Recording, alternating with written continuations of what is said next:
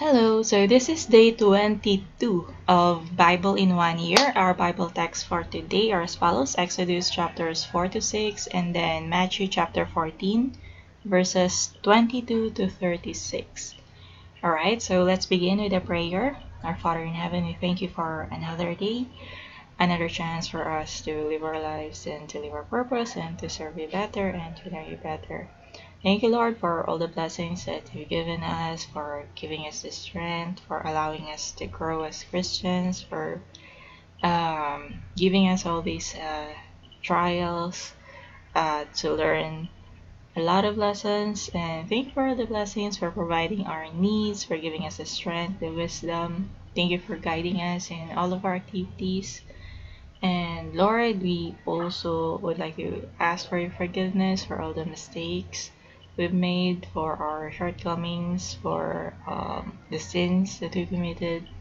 Uh, we pray, Lord, that we'd be able to correct them and to ensure that we're turning our backs on uh, from sin. And uh, Lord, guide us in all our activities for today.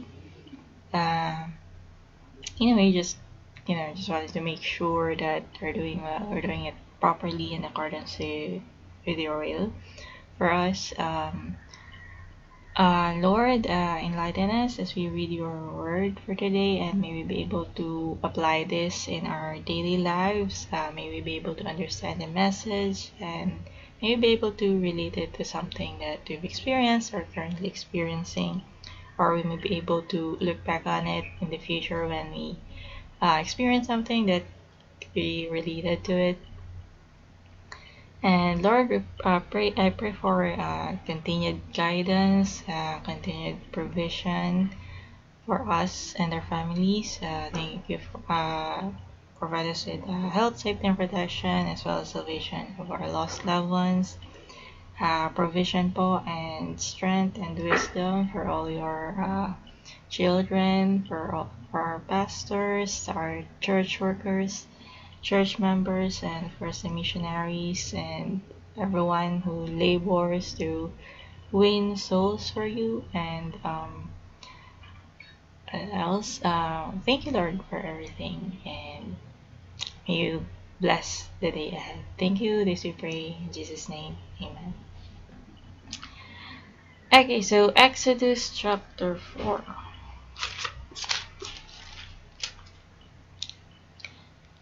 Exodus chapter 4 And Moses answered and said, But behold, they will not believe me, nor hearken unto my voice, for they will say, The Lord had not appeared unto thee.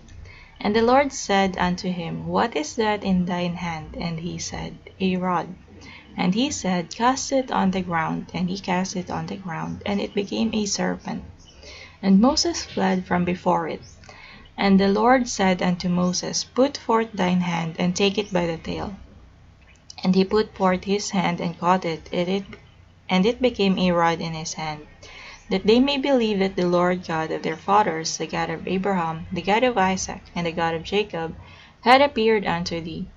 And the Lord said furthermore unto him, Put now thine hand into thy bosom. And he put his hand into his bosom, and when he took it out, behold, his hand was leprous as snow. And he said, Put thine hand into thy bosom again. And he put his hand into his bosom again, and plucked it out of his bosom. And behold, it was turned again as his other flesh. And it shall come to pass, if they will not believe thee, neither hearken to the voice of the first sign, that they will believe the voice of the latter sign. And it shall come to pass, if they will not believe also these two signs, neither hearken unto thy voice, that thou shalt take of the water of the river, and pour it upon the dry land, and the water which thou takest out of the river shall become blood upon the dry land. And Moses said unto the Lord, O my Lord, I am not eloquent, neither heretofore, nor since thou hast spoken unto thy servant, but I am slow of speech, and of a slow tongue. And the Lord said unto him, Who had made man's mouth, or who had made it? Maketh the dumb, or deaf, or the seeing, or the blind? Have not I the Lord?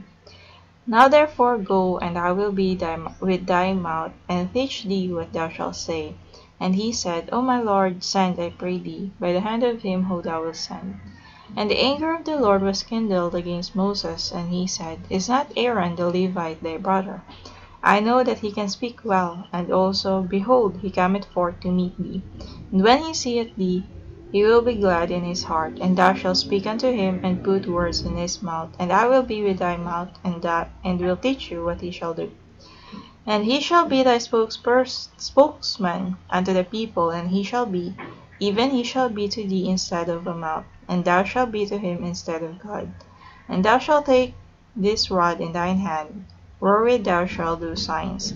And Moses went and returned to Jethro his father in law, and said to him, let me go, I pray thee, and return unto my brethren which are in Egypt, and see whether they be yet alive. And Jethro said to Moses, Go in peace.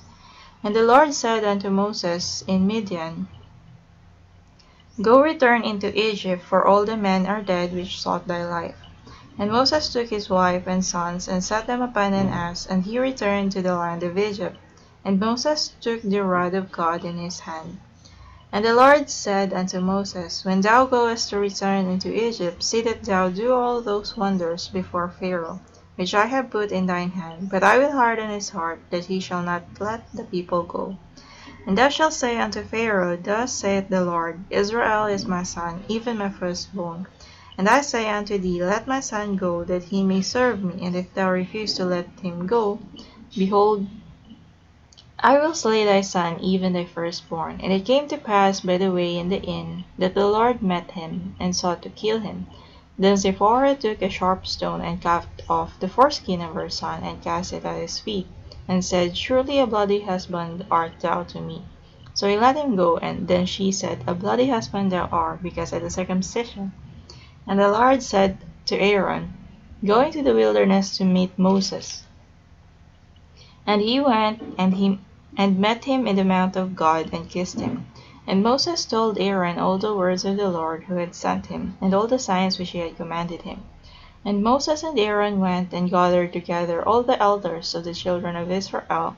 And Aaron spake all the words which the Lord had spoken unto Moses, and did the signs in the sight of the people. And the people believed, and when they heard that the Lord had visited the children of Israel, and that he, and that he had looked upon their affliction, then they bowed their heads and worshipped. Chapter 5 And afterward Moses and Aaron went in and told Pharaoh, Thus saith the Lord God of Israel, Let my people go, that they may hold a feast unto me in the wilderness. And Pharaoh said, Who is the Lord, that I should obey his voice to let Israel go? I know not the Lord, neither, neither will I let Israel go. And they said, The God of the Hebrews hath met with us. Let us go, we pray thee, three days' journey into the desert, and sacrifice unto the Lord our God, lest he fall upon us with pestilence or with a sword. And the king of Egypt said unto them, Wherefore do ye, Moses and Aaron, let the people from their works? Get you unto, their, unto your burdens. And Pharaoh said, Behold, the people of the land now are many, and ye make them rest from their burdens. And Pharaoh commanded the same day the taskmasters of the people, and their officers, saying, Ye shall no more give the people straw to make a brick, to make brick, as heretofore, to let them sorry, let them go and gather straw for themselves. And the tale of the which they did heretofore ye shall lay upon them. Ye shall not diminish aught thereof, for they be idle, therefore they cry, saying, Let us go and sacrifice to our God. Let their more work be laid upon the men, that they may labor therein, and let them not regard vain words. And the taskmasters of the people went out, and their officers, and they spake to the people, saying, Thus saith Pharaoh, I will not give you straw. Go ye, get ye straw where ye can find it, yet not aught of your work shall be diminished. So the people were scattered abroad throughout all the land of Egypt to gather stubble instead of straw. And the taskmasters hasted them, saying, Fulfill your works, your daily task, as when there was straw. And the officers of the children of Israel, which Pharaoh's taskmasters had set over them, were beaten and demanded, Wherefore have ye not fulfilled your task, in making brick both yesterday and today, as heretofore? Then the officers of the children of Israel came and cried unto Pharaoh, saying, Wherefore dealest thou thus with thy servants? There is no straw given unto thy servants, and they say to us, Make brick, and behold, thy servants are beaten. But the fault is in thine own people. But he said, Ye are idle, ye are idle. Therefore ye say, Let us go and do sacrifice to the Lord. Go therefore now and work, for there shall no straw be given you, yet shall ye deliver the tale of bricks. And the officers of the children of Israel did see that they were in evil case, after it was said, Ye shall not minish aught from your bricks of your daily task. And they met Moses and Aaron, who stood in the way, as they came forth from Pharaoh. And they said unto them, The Lord look upon you and judge, because ye have made our Saviour to be abhorred in the eyes of Pharaoh and in the eyes of his servants, to put a sword in their hand to slay us. And Moses returned unto the Lord and said, Lord, wherefore hast thou so evil entreated this people? Why is it that thou hast sent me? But since I came to Pharaoh to speak in thy name, he had done evil to this people, neither hast thou delivered thy people at all. Chapter 6 Then the Lord said unto Moses, Now shalt thou see what I will do to Pharaoh, for with a strong hand shall he let them go, and with a strong hand shall he drive them out of his land. And God spake unto Moses, and said unto him, I am the Lord. And I appeared unto Abraham, unto Isaac, and unto Jacob, by the name of God Almighty but by my name Jehovah was I not known to them. And I have also established my covenant with them, to give them the land of Canaan, the land of their pilgrimage, wherein they were strangers. And I have also heard the groaning of the children of Israel, whom the Egyptians keep in bondage. And I have remembered my covenant. Wherefore say unto the children of Israel, I am the Lord, and I will bring you out from under the burdens of the Egyptians and I will rid you out of their bondage, and I will redeem you with a stretched out arm, and with great judge judgments. And I will take you to me for a people, and I will be to you a God, and ye shall know that I am the Lord your God, which bringeth you out from under the burdens of the Egyptians. And I will bring you unto the land concerning the which I did swear to give it to Abraham, to Isaac, and to Jacob, and I will give it you for an, inher for an heritage. I am the Lord. And Moses spake so unto the children of Israel, but they hearkened not unto Moses for anguish of spirit, and for cruel bondage. And the Lord spake unto Moses, saying, Go in, speak unto Pharaoh king of Egypt, that he let the children of Israel go out of his land. And Moses spake before the Lord, saying, Behold, the children of Israel have not hearkened unto me. How then shall Pharaoh hear me, who am of uncircumcised lips. And the Lord spake unto Moses and unto Aaron, and gave them a charge unto the children of Israel, and unto Pharaoh king of Egypt, to bring the children of Israel out of the land of Egypt. These be the heads of their fathers' houses, the sons of Reuben, the firstborn of Israel, Hanoch, and Pallu, Hezron, and Carmi. These be the families of Reuben. And the sons of Simeon, Jemuel, and Jamin, and Ohad, and Jachin, and Zohar, and Shaul the son of the a Canaanitish woman. These are the families of Simeon.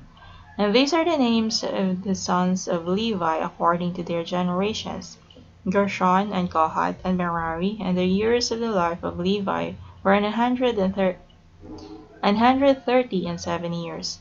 The sons of Gershon, Libni, and Shimei according to their families, and the sons of Kohath, Amram, and Izhar, and Hebron, and Uzziel. And the years of the life of Kohath were an hundred thirty and three years. And the sons of Merari, Mahali, and Mushi, these are the families of Levi according to their generations. And Amram took him Jochebed, his, his father's sister, to wife, and she bare him Aaron and Moses, and the years of the life of Amram were an hundred and thirty and seven years. And the sons of Izhar, Korah, and Nepheg, and Zichri, and the sons of Uzziel, Mishael, Elzaphan, and Elzaphan, and Zithri.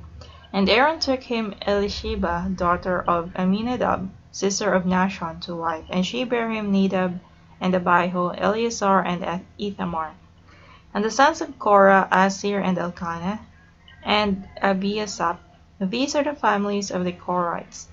And Eleazar, Aaron's son, took him one of the daughters of Putiel, Putiel to wife, and she bare him Phinehas. These are the heads of the fathers of the, of the Levites according to their families. These are that Aaron and Moses, to whom the Lord said, Bring out the children of Israel from the land of Egypt according to their armies. These are they which spake to Pharaoh king of Egypt to bring out the children of Israel from Egypt.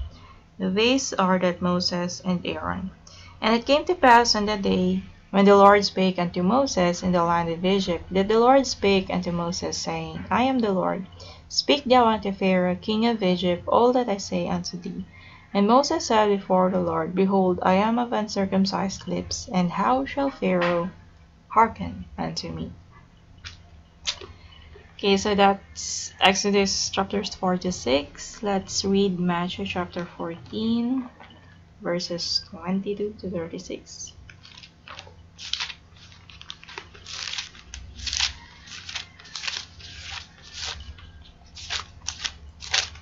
Matthew 14, verse 22. And straightway Jesus constrained his disciples to get into a ship and to go before him unto the other side, while he sent the multitudes away. And when he had sent the multitudes away, he went up into a mountain apart to pray. And when the evening was come, he was there alone. But the ship was now in the midst of the sea, tossed with waves, for the wind was contrary. And in the fourth watch of the night Jesus went unto them, walking on the sea. And when the disciples saw him walking on the sea, they were troubled, saying, It is a spirit. And they cried out, of, out for fear. But straightway Jesus spake unto them, saying, Be of good cheer, it is I, be not afraid. And Peter answered him and said, Lord, if it be thou, bid me come unto thee on the water. And he said, Come. And when Peter was come down out of the ship, he walked on the water to go to Jesus. But when he saw the wind boisterous, boisterous, he was afraid, and beginning to sink, he cried, saying, Lord, save me. And immediately Jesus stretched forth his hand and caught him, and said unto him, O thou of little faith, wherefore didst thou doubt? And when they were come into the ship, the wind ceased. Then they that were in the ship came and worshipped him, saying, Of a truth thou art the Son of God. And when they were gone over, they came into the land of Gennesaret. And when the men of that place had knowledge of him, they sent out into all that country round about, and brought unto him all that were diseased, and besought him that they might only touch the hem of his garment, and as many as touched were made perfectly whole. Okay, so that's Matthew chapter 14, verses 22 to 36. So, recap of what we've read and a bit of reflection, if any. So, in Exodus, um, we see Moses uh, trying to you know, decline God's uh, command, uh, but then, you know, uh, he's making excuses, he's slow of speech, and you uh, something along those lines. And then, you know, God, in a way, became angry with him, and then he suggested Aaron, who's uh, probably eloquent. Okay, and so it became Moses, and then Aaron assisted him. And then they talked to Pharaoh according to God's commands, God's orders. So they showed the rod, and then they showed the uh, withered hand, and then the water from the river turned to blood. Okay, but and then they requested to go to the wilderness to pray to God to, to do sacrifice, but uh, Pharaoh did not uh, allow them to go. He thinks that they're just being idle. So what they did is they um, multiplied their task or their burden for the day. Instead of giving them the straws to make bricks, uh, they did not give them straws. They have to find the straws themselves or whatever they can use to make bricks and so uh, the people in a way they also uh, got angry to towards Aaron and Moses because you know before their job is quite good but now it became uh, burdensome or harder okay so they were resentful of uh, Moses and Aaron a little okay and then God uh, told Moses and Aaron to speak with Pharaoh again. And then he explained that Pharaoh would not, you know, would not hearken unto them, would not listen. And then after that, God would do his, uh, you know, miracles. He would show his uh, abilities, his greatness, what he's capable of, so that this Pharaoh would uh, recognize their God. Because, you know, uh, they're Egyptians, they do not recognize the God of Abraham, of Isaac, of Jacob. Okay, so probably it's you know um, in accordance with God's plan for the Egyptians to know how mighty uh, the God of Israel is. Okay. And then in Matthew uh, 14, we see uh, after healing the sick, teaching, and all that, um, God went to a mountain to pray alone, I think. I'm not sure if there's someone with him. And then his disciples uh, boarded a ship so that they would go to the other side of the sea. But uh, they don't have Jesus with him. Jesus is still praying in the mountain. And then when Jesus came down and he he probably learned that his disciples were in on a ship. So he walked on the water to go to them. And then when they saw him, they thought it's a ghost and or a spirit. And then he told them that it's him, it's Jesus. And then um, I think the sea wasn't calm as well because you know later on Peter was distracted by the waves and the wind. Okay, so of all the disciples in the ship, of all the apostles, only Peter asked Jesus if, you know, he can come down, come to him, and also be able to walk on water. Okay? He did walk on water, but then he was distracted by the surroundings, the winds, the waves. He feared in his heart and he started to sink. And then, of course, uh, he asked Jesus to save him. Lord, save me. Uh, said it that way. And so Jesus did save him and asked, uh, "Oh, thou of little faith, why did you, you know, doubt in your heart?" So, um, bit of reflection for non-believers yet. In a way, um, there would be people who'd either believe that there's someone, there's a God out there who's allowing things to happen, and then there are people who'd rather believe that you know it's all just a coincidence uh, it's only luck or something else and they would not attribute it to god but uh, you know uh, it's a faith is a belief uh, you know uh, faith believing without seeing okay so basically our faith is only based on the bible and what's being said on the bible we we, have, we didn't see all these things but we believe them to be true because they are in the Bible and we have John 1 1. Okay, so um for I think for those people who would like to believe, you know, debate the so-called baby Christians, uh, what strengthens a Christian's faith, the baby Christians, I think it would be experiencing uh, God's greatness and you know in everything they do, they would see God's hands in the things that are happening in their lives. When there's a problem, God's there to help them. You know, they're almost accidents, God saves them. If they have need, God would provide. Okay.